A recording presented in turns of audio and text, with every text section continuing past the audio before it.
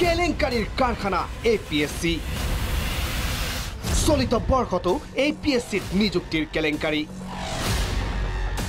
পাল বাহিনীৰ গ্ৰেপ্তাৰতো শিক্ষা নললে এ পি এছ চিয়ে পোহৰলৈ আহিছে নিযুক্তি কেলেংকাৰীৰ আন কেতবোৰ চাঞ্চল্যকৰ তথ্য। এইবাৰ অভিযোগৰ আঙুলি অনুপম ৰয়লৈ। শিক্ষা সেৱাৰ চাকৰিৰ নামত ভয়ংকৰ জালিয়াতি। প্ৰথমেই চাওক আঠ মে' দুহেজাৰ সোতৰত প্ৰকাশ পোৱা এই বিজ্ঞাপনটোলৈ। শিক্ষা সেৱাৰ আঠটা পদ পূৰণৰ বাবে আবেদন বিচৰা হৈছিল এই বিজ্ঞাপনটোৰ জৰিয়তে। বিদ্যালয় পৰিদৰ্শক জিলা প্ৰাথমিক শিক্ষা বিষয়া আৰু উপ সঞ্চালকৰ মুঠ আঠটা পদ। কিন্তু ৰাকেশ পালৰ পিছত এ পি এছ চিৰ অধ্যক্ষৰ দায়িত্বত থকা অনুপম ৰয়ে সম্পূৰ্ণ নীতি বহিৰ্ভূতভাৱে বাছনি কৰিছিল শিক্ষা সেৱাৰ আঠজন প্ৰাৰ্থীক আছাম এডুকেশ্যন ছাৰ্ভিচ ৰুলছৰ এই দফাটোলৈ ভালদৰে চাওক য'ত স্পষ্টভাৱে উল্লেখ আছে শিক্ষকতাৰ দহ বছৰৰ অভিজ্ঞতা বাধ্যতামূলক। এইবাৰ চাওক এই দফাটোলৈ।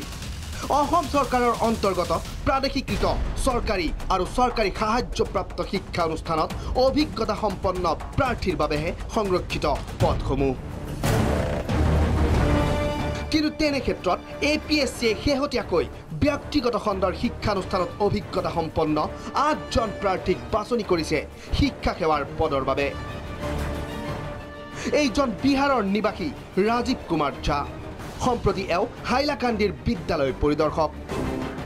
লক্ষ্ণৌ পাব্লিক কলেজ আৰু কেন্দ্ৰীয় বিদ্যালয়ৰ অভিজ্ঞতা দেখুৱাইছে এইজন বহিৰাজ্যৰ বিষয়াই।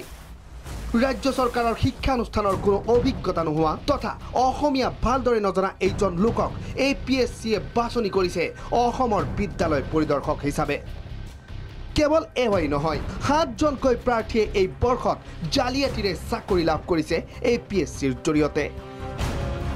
অৱশ্যে এই সমগ্ৰ জালিয়াতি সন্দৰ্ভত বঞ্চিত দুজনকৈ প্ৰাৰ্থীয়ে অভিযোগ দাখিল কৰিছে মুখ্যমন্ত্ৰী সৰ্বানন্দ সোণোৱালৰ ওচৰত।